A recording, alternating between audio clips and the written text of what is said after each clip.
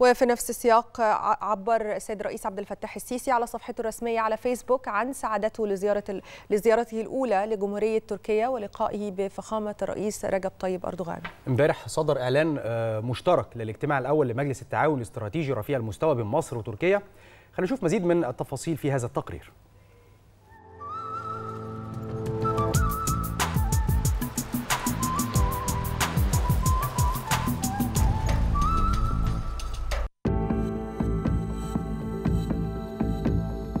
أخبار كتير حصلت امبارح. من بينها إن الرئيس عبد الفتاح السيسي عبر على صفحته الرسمية على فيسبوك عن سعادته لزيارته الأولى لجمهورية تركيا ولقائه بفخامة الرئيس رجب طيب أردوغان. وقال الرئيس عبد الفتاح السيسي حافظ بلدينا العريقان على علاقات تاريخية وشعبية عميقة الجذور تعززها علاقات سياسية قوية أنشئت منذ تأسيس الجمهورية التركية على يد القائد المؤسس مصطفى كمال أتاتورك. ربما زيارتي وزيارة فخامة الرئيس أردوغان للقاهرة في وقت سابق تبشر بفصل جديد في الصداقة والتعاون بين مصر وتركيا على أساس أدوارهما المحورية في المنطقة وعلى الصعيد الدولي وتحقيق طموحات وتطلعات الشعبين الشقيقين.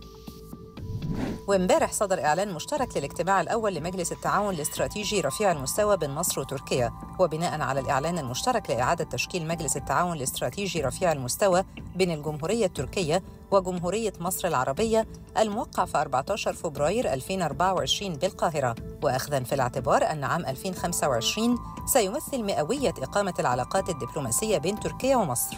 وإذ يعربان عن إرادتهما لترفيع شراكتهما وتعاونهما في كافة المجالات للمستوى الاستراتيجي واستكشاف قطاعات جديدة للتعاون بين الدولتين بناء على المصلحة المتبادلة ومبدأ التضامن.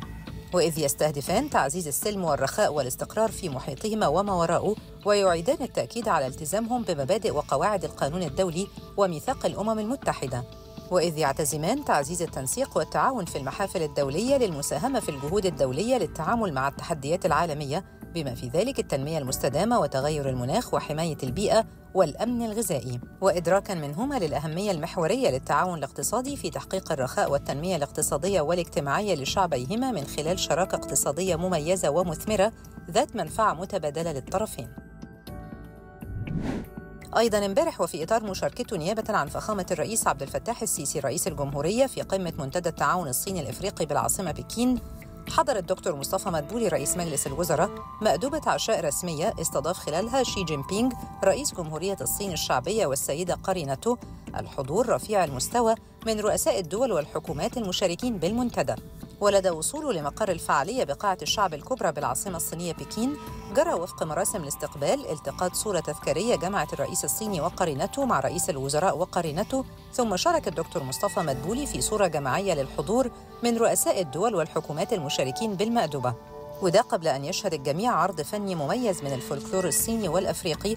قدموا شباب وشابات يحملون أعلام الدول المشاركة من بينها العلم المصري.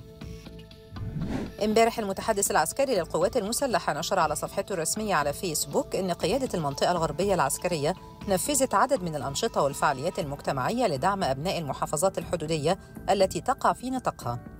وده في إطار حرص القوات المسلحة على دعم المجتمع المدني وزيادة أواصر الترابط بين أبناء الشعب المصري وقواته المسلحة كما حرصت قيادة المنطقة الغربية العسكرية على التواصل المستمر وتقديم الدعم اللازم لأبناء محافظة مطروح من خلال عقد اللقاءات الدورية مع العمد والمشايخ والعواقل وأعضاء مجلس النواب لعرض المشاكل والصعوبات التي تواجههم والعمل على حلها بالتنسيق مع كافة الجهات التنفيذية بالمحافظة.